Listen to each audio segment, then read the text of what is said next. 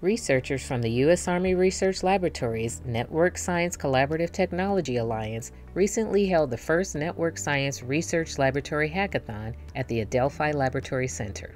The purpose of the NSRL Hackathon was to integrate applications that represent NSCTA's multi-layer components in such a way to push data points from a communication emulator to a social cognitive network component called Virtual Battle Space 3 or VBS 3.